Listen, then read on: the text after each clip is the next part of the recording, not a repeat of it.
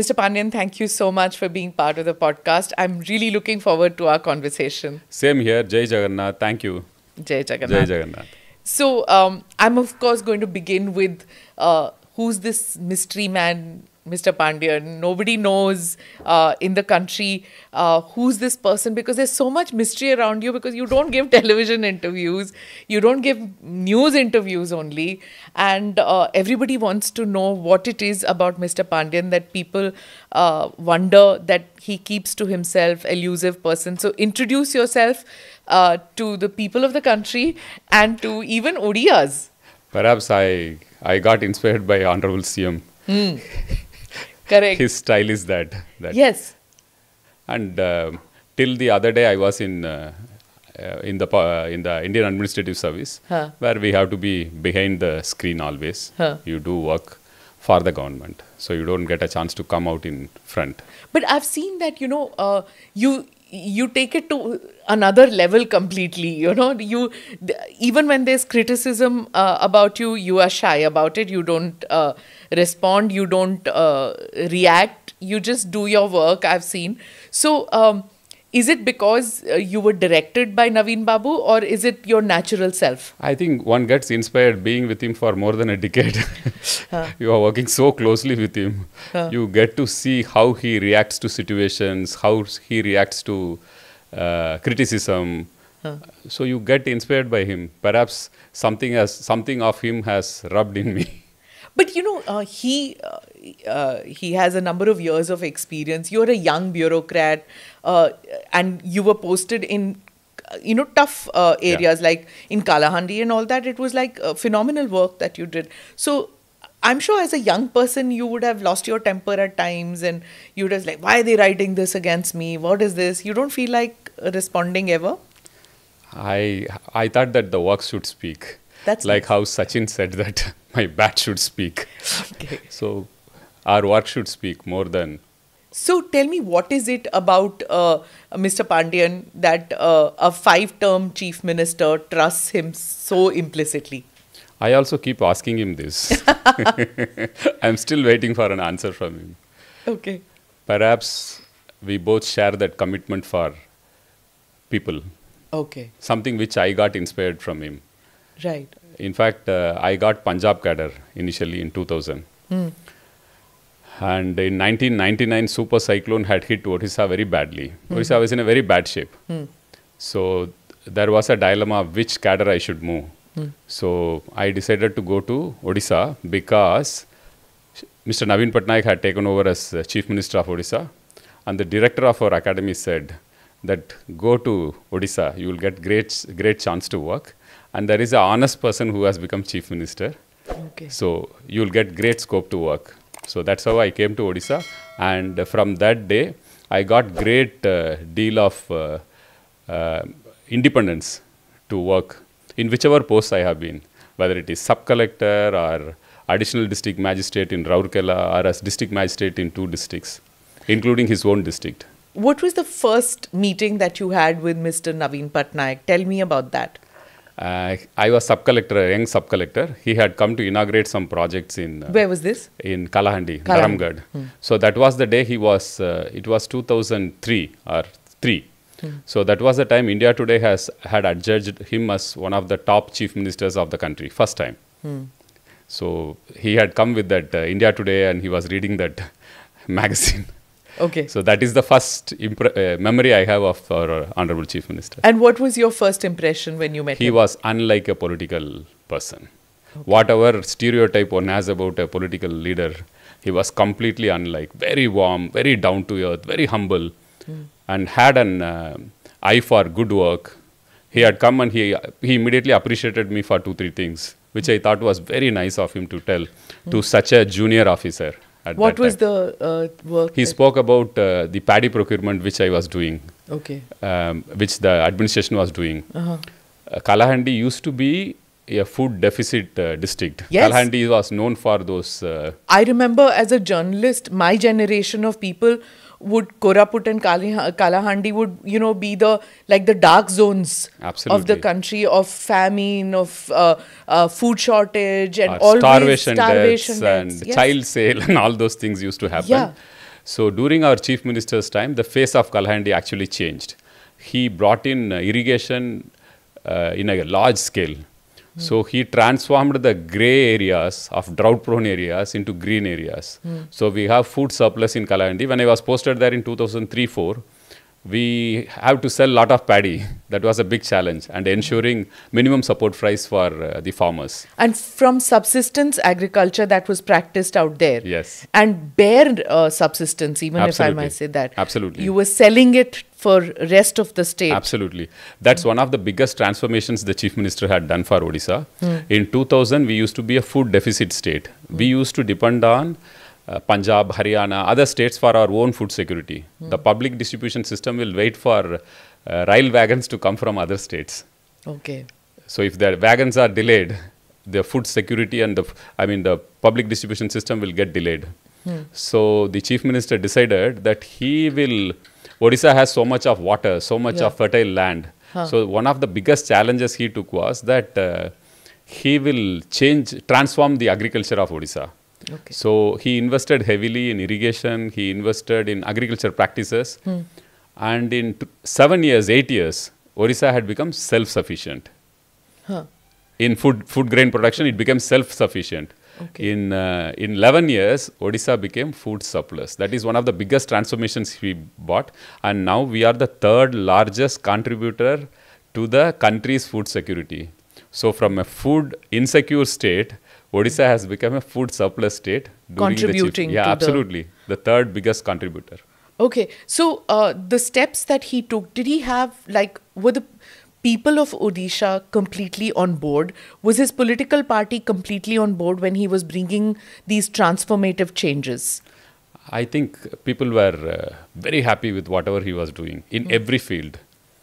Whether it is disaster management, where he has set global benchmarks, or food security, or tribal empowerment, or education, every field. That is why perhaps he got uh, pro incumbency instead of anti incumbency, Yeah. which sets in uh, even after one, one term, anti incumbency sets in. Yeah. He is now five term chief minister, and in every election, his uh, margins go high, his vote percentage is going high, and perhaps he will repeat the same in 2024 as well. okay. So, uh, sir, I wanted to ask you this. You know, um, when uh, Naveen Babu started his career in politics, everybody was like, "Oh, he's he's not a son of the soil. He's anglicized. He doesn't speak the language." So this kind of talk was done. But somehow, as you said, that there's no anti-incumbency with him. People of uh, Odisha uh, not just forgive him, not just accept him, they embrace him despite him uh, not being one of the, like I said, son of the soil.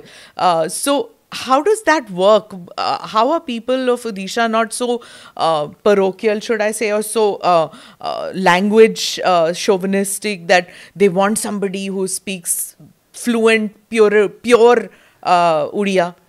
I think language is to connect with people, the masses. He does it very well. In spite of whatever limitation one will accuse him of speaking the language, he connects with people the best. And that's what works in democracy. Correct. His language is the language of people. He speaks from his heart, which people appreciate. He doesn't have anything to hide. He's, he's so transparent that people love him for what he is. So even with you, it's like that, right? Because uh, you're a Tamilian by birth. So uh, I would think that when uh, you know you chose to come to uh, uh, Odisha and work out here, you have a similar kind of a trajectory in the sense that you are not fluent with the language, though you learnt it. Uh, but uh, again, you've managed to work out here for so many years now. So when you come to Odisha only, you are asked to write an exam. You have to clear an exam of 8th standard or something. Then you clear the exam, then you take up posts here in the state. Uh, so I, uh, I think language is uh, not a limitation if you know people and you understand their issues. You, you solve their issues. People are more concerned about uh, how transparent one is with them and how committed are, are they to their cause. I think that that really works and that's an inspiration one gets from the chief minister as well. See, but uh, even though I won't agree that he is not so fluent, he's No, he- I'm he- talking with when he came to politics. Oh, that time, yeah, At right. that time, he was okay. like he was considered like you know. Uh, somebody not uh, accustomed to you know living here in odisha Yeah. he'd come from outside and he had uh, even his english uh, was uh, you know anglicized english so I think he used he used uh, all those things as his strength. yeah He was very fresh. He was open to ideas, and he saw everything with an open mind, which is very rare in a political situation. You come with preconceived notions, preconceived ideas. He was fresh in politics.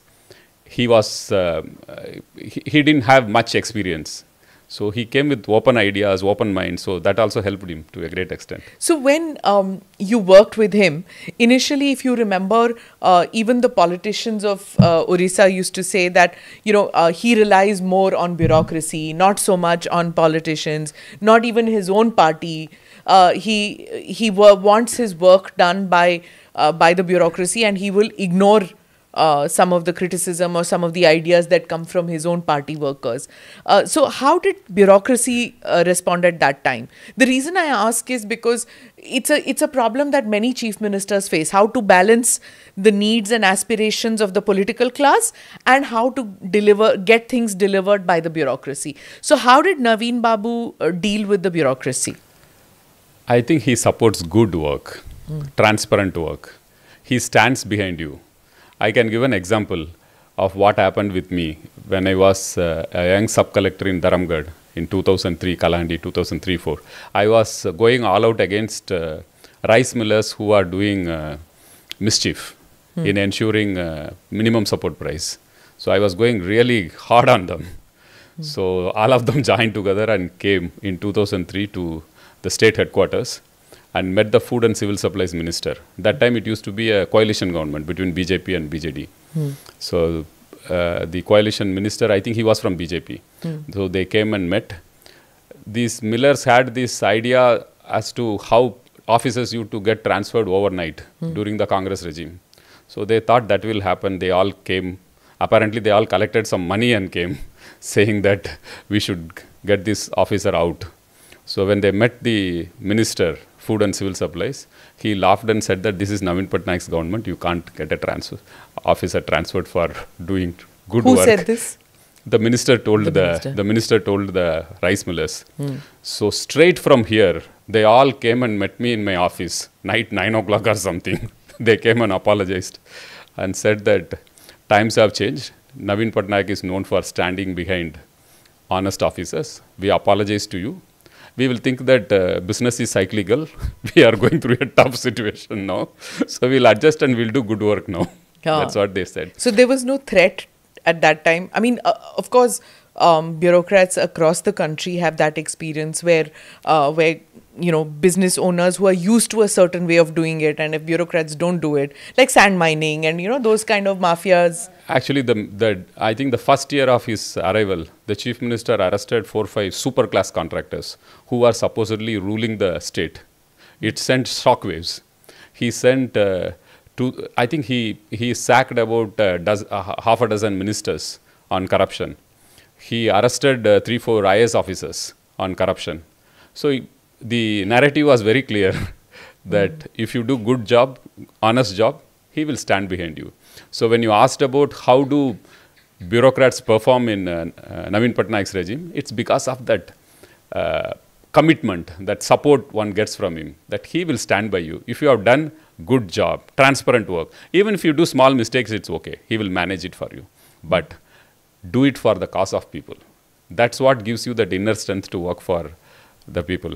And uh, when you asked about, Oh I think, goodness! yeah, good The- woman. I mean, for my first interview, perhaps. Yeah, the lizard. I thought it's a bird, but I believe it's a I think it's a lizard. so good omen. So I'm going to get like a million hits uh, for this interview. That means, So- yeah. So yes, go ahead. so he is very clear about where to draw the line between bureaucracy and uh, the political executive. Hmm. He knows what has to be done through the political executive, how much you have to respect the political executive, and how much you have to get work done by the administration, the bureaucrats. So he doesn't cross that line. So this is uh, what you're telling me is about bureaucrats, right? What happens about uh, about his own party? Because there have been minor rebellions. Um, and you know, uh, Mr. Pandian, if you see the area around your state, you know, there have been so many rebellions. You know, when you see Jharkhand, when you see uh, Bihar, you see, uh, and you go a little further, you see other states also. You see Madhya Pradesh, and and there have been rebellions within, but somehow uh, it doesn't happen here. Uh, in Orissa, there have been minor rebellions, but uh, Naveen Babu seems to have quelled it all along. I won't even call them as minor rebellions. They are really small, micro, you can say. Hmm. Basically, ego issues are super confident or overconfident, some people trying some Hmm. mischief. If the leader is so popular amongst people, if you are going to do a rebellion against him, it's going to finish your political career. And that is the very reason why in Odisha nobody has tried any rebellion. He is so popular. You have to be there to see how people love him. They wait for four, five hours just to have a glimpse of him for half a second. What kind of love and affection people have for him. Yeah. He's so. I don't think anyone dares to do any rebellion. There was that one incident. Yes. Remember when you were in, you were with him in, in Yeah, yeah, you in were London, abroad, yeah. and there was that one. And uh, at that time, there were this in Delhi. There were a lot of rumors, at least, that oh, the toppling will happen and all that. So how was that managed? Perhaps that was his bad time, Mr. Pyarimohan Mahapatra's bad time. He, he, He decided to mount it. Yeah, he decided to mount it. I would say that only that Hmm. it was his bad time. He decided to do something like that. The chief minister is so popular. Uh, the day we landed back from London, uh, you know the airport how close it is. It Yeah. shares a boundary with the chief minister's residence. From the airport to his residence, we took two and a half hours or three hours to come reach. That was the kind of crowd, so much of emotions, and he broke all records in the 2014 elections after Yeah. the after the coup. And He- this was when in 2000 and uh, you know uh, uh, 12. in May. 2012 May. when there was this talk of this rebellion uh, and uh, there was you know disruption in in many states during that time but Yes. here there wasn't Yeah, they tr- little bit uh, attempt was made, but uh, the kind of people support, I think everyone got scared. Nobody dared to cross the line. yeah So the chief minister became more powerful after that, I would say. right. And um, so do you think that that is the reason why mr modi and mr patnaik get get along so well? Because uh, mr modi is also a former chief minister and he also had this phenomenal support in his own state in gujarat. So uh, do you think that uh, that is one of the major reasons why the two of them have a cordial relationship? I would see from two, three angles the relationship between uh, the Honorable Prime Minister and the Chief Minister. I have seen them interact from 2011 onwards. I have been with them. One angle is uh, the respect they have for each other. They respect that people's mandate, that genuine respect which comes when you enjoy the uh, confidence of people. That is the first thing both of them have. If you if you see both of them meeting for the first time, you will see that as if they are they are great friends and meeting after a long time. Something like that you will feel. That's the kind of rapport both of them have. The second is their commitment for uh, federalism h- why I am using this word federalism, it was uh, UPA 2, I remember. They were planning to introduce uh, NCTC, National Counter Terrorism Yeah. Act or something. mr chidambaram's Mr. Chidambaram's, yeah. dream child And then they were giving more powers to RPF, Railway Protection Force, through which they can uh, take action inside a state's territory. All of it were encroaching the state's uh, jurisdiction, domain. that nctc was a stillborn it never happened So, so what happened? Those times, all of them used to talk to each other. Mr. Modi, Madam Jayalalitha, Oh. and uh, uh, Naveen Patnaik. I remember they three decided to walk out of the uh, NDA meeting, uh, NDC, National Development Council meeting. Must be 2011-12. Hmm. All three of them decided we should be the first ones to walk out opposing this uh, NDC. So all three of them came out and gave statements and they met in Gujarat Bhavan and in Tamil Nadu Bhavan like that. So they had that uh, rapport from that time onwards, working for a cause, working for federal principles, keeping larger interest of country in focus. Right. And do you think that that uh, cooperative federalism, in a way, uh, that was redefined in 2014 by the uh, center-state relations that you have experienced and you have seen between Odisha and the central government? I would say so. I would say so. uh, to a great extent, a lot of things have been ironed out, including the devolution. Even though we say that we have to get more uh, funds, but there has been systemic improvements on that score. But uh, you know, many would think that uh, that is the cooperative federalism is what the bureaucracy will say, or because you have uh, your state has good relations with uh, the center, that's why. But the, the detractors will say it's a fixed match between BJP and BJD. I'm asking you because now you're BJD. You are not just a bureaucrat. No, when when BJD is not convinced about something, BJD has not gone ahead with uh, BJP. I'll give you two examples. One is the farmers' bill. We didn't support. BJD did not support. Farmers' bill was withdrawn. The second one was NRC. Our chief minister made it very clear it's not good for the country. So there are instances where uh, the chief minister or the BJD has not supported the center in in uh, in issues which concerns the nation, and when BJD or the chief minister is convinced about it, they have supported.